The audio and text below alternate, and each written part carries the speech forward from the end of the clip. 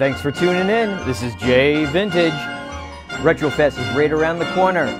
Don't forget, on Saturday is the car show, and there's no need to tailgate.